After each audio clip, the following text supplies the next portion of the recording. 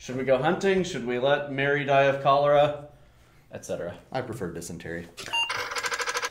On this episode of Doing the Most, we are testing the difference of cheap honey versus expensive honey in a hydromel. Homemade brews and various how-tos, everything from mead to roast. Bake creation, fermentation, inebriation, doing the most. So we've done this test kind of before. We Yeah. did it with cheap red wine tannin and expensive soft FT Blanc tannin. We decided to take it a step further and now test for honey quality. I know if you recall, we prefer the cheap tannin. Yes, so in these batches, I use cheap tannin. Okay, perfect. and then one of them has got uh, orange blossom honey that's about $6 a pound. So for a batch this size, that comes out to like $36. Okay. And then the other one has honey that clocks in at just over two dollars a pound. So for a batch this size, you're looking at thirteen or fourteen dollars with change. So a third of the cost. Yes, Basically. and and so these batches, the way they were brewed, they were brewed with the entirety of the honey being that honey. Mm-hmm. At a later date, we'll do another test where we test just back sweetening with cheap versus expensive. So stay tuned for that. But right now, what we're going to do is a triangle test. Have you ever been part of a triangle test? I don't think so. Why don't you explain to me how this is going to work? I will explain to you how we're going to do it. Okay. I have also never been part of a triangle test, and one of our commenters recommended that we test it this way so we can remove any sense of personal bias from from the process. And uh, there's a great brewing blog called Brülosophy that does this to test all sorts of different things. You should check them out. I'll put a link in the description. So what we're gonna do is we're going to taste test three cups of mead three times in a row. Okay. So we're each gonna have our three cups. Anna, our scientist, our eh, our researcher, our I'm really like a lab assistant. La- our lab assistant. lab assistant number one, is going to pour our, our cups. So we're going to do two of one and one of the other. We will not know if we have two of the control and one of the variable, two of the variable and one of the control. I may have something different than you have.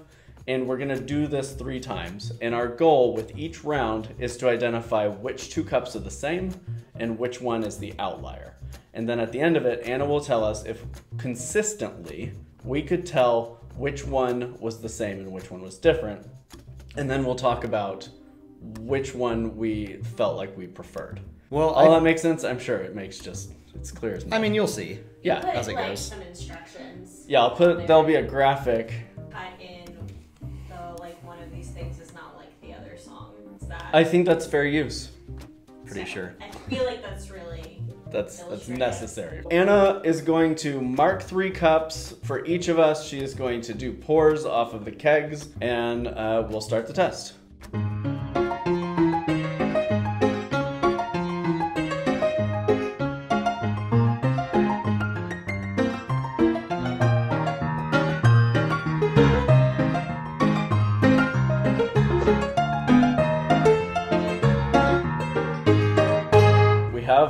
Three glasses.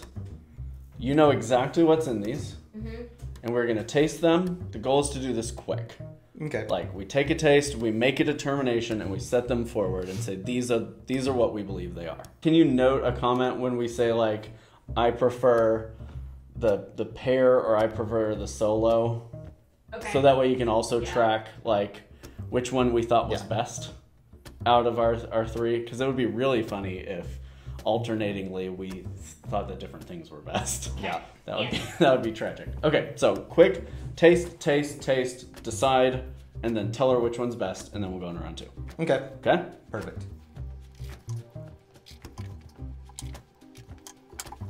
See, that's not fair. You saved some.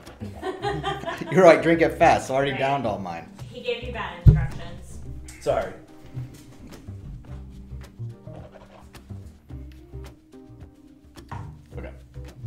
Which ones which of your sets did you think was the best? I thought this was a little better. I also thought that my single cup was the better one. I have a feeling that we have different opinions. I'm gonna have to check the bottoms of the cups. Yeah, the, we can leave and you can make all your notes. So you both felt that your single cup was Was better. the better one. Yes. Okay. I think. This is really hard though, back to back, because the difference is fairly subtle, I think. But going back between Yeah. all of them like Yeah. that. I that's that's how I feel. Yeah. Okay. Okay.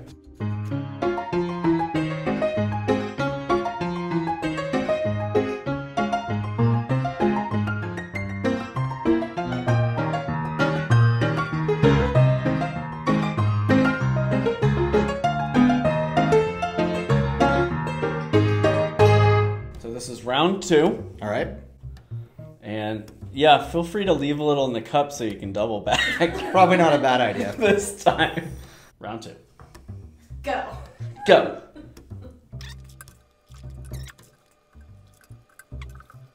I'm not confident this time around. Are you? Yeah, pretty sure. I mean, I could be totally wrong, but I am confident in my decision. That's how you have to make decisions. You just have to decide and move on with your How's that working out for you? Not good. No, this this is harder this time, and I don't know if it's because like my blood's pumping now. Okay, and your preferences. Okay.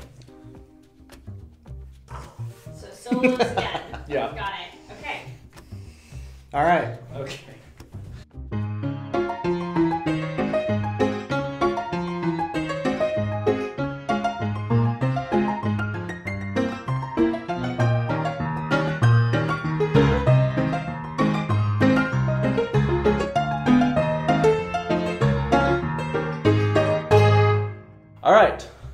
Round three.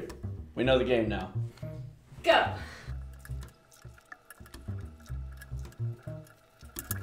I honestly have no clue. Really? Yeah, I'm. I maybe don't have a refined palate. I don't know, and I could be totally wrong. I kind of feel like there's a discernible difference each time, but I don't know. All right, what what do you? So you prefer that? I think so. I prefer my pear this time around. Okay. All right. Okay, so tally us up. You were both correct twice and incorrect once. Okay. I'm gonna guess I was incorrect the second round. You were incorrect the first round, Really? and you were incorrect the second round. Yeah, I could not tell the second Uh, round. I was having huh. a lot of trouble. However, this is the weird thing. You consistently liked the same thing. You liked the cheap one every time. You liked the expensive one every time. What the hell? You can see the, the results. Interesting. Well, that's not very helpful. So, yes, you can tell a discernible difference. Yeah, I think I, I think it is difficult. Did you feel like it was difficult? I was fairly confident, but I guess the second round, like, No, I you were just- right the second round. I was wrong the You were off first round. You were wrong round. the first round. It is really subtle though. yeah. The difference is Let's get a glass. Let's have like an actual drink of our favorite. And then we Okay, can yeah, that's talk a great about- idea. Let's- Then we can talk about what we like. Oh, are you going to get us glasses? That was my That's so kind of you. Every time that I made the decision for the one I liked, I Uh-huh. liked it a lot better. Like, I mean, it's very similar, but I was like, yeah, this is good. Like immediately. Interesting. So I didn't sit there and have to I, think. I had one trouble. prefer. I had trouble discerning, and I think what I noticed for me, what felt different about the cheap one, I felt like there was something bitter happening in there. I thought it was more a more well-rounded flavor profile, actually. That's so interesting. Ooh, man, Yeah. just- we just inhaled carbonation. But They are slightly different in color. I yeah, think. set that side by side. Yeah, yeah. The cheap honey is It's darker. considerably darker. See, and I almost thought that the more expensive one had too much of like a high-end bite. Like the high note for me was like a little off-putting compared to what I would consider the more basic notes of the cheaper honey. Each of the three times we consistently picked that we liked the same thing. So I think our flavor preference is defined. Yes. So what what if anything did we learn here? That it's probably not worth it. For you. Well, okay. it might be worth it for you 60% of the time. Yeah. Yeah. I mean, I liked it every time. I liked them both very much, but in order to tell a difference, and if I had to pick, I think I would have to go with the cheaper one. Obviously, the variable, the the biggest variable at play is the flavor of the honey itself, because there is some acid amendment that gives it that that brightness and that pop and that roundness. But what we're really talking about is the flavor of the honey. And I guarantee you, if we did this test with the honeys, mm-hmm. unfermented, you would know definitely which one was the expensive honey because they taste vastly different. I mean, yeah, I guess if you're just wanting to crush five of these after you mow the lawn, then honey quality probably doesn't matter. But Well, it matters.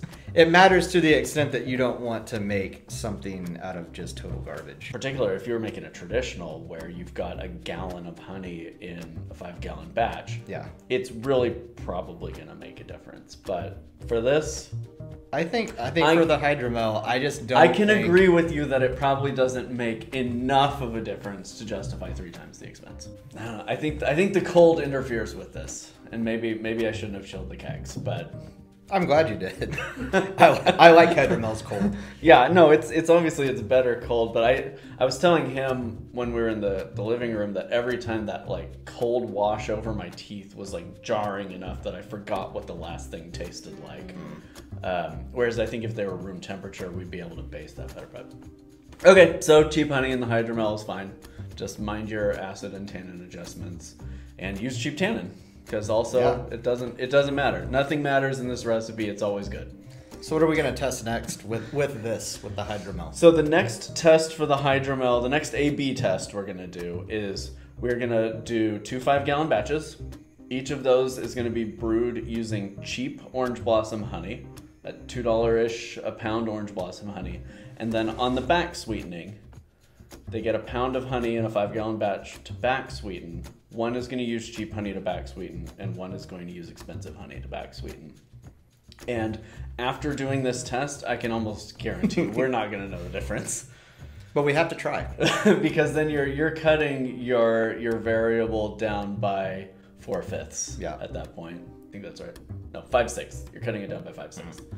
because there's six pounds on me. So now you can become a patron or a YouTube member. Links in the description. Also follow us on Instagram and Pinterest at Doing the Most Okay. And do you have any closing thoughts? Parting advice, sage wisdom?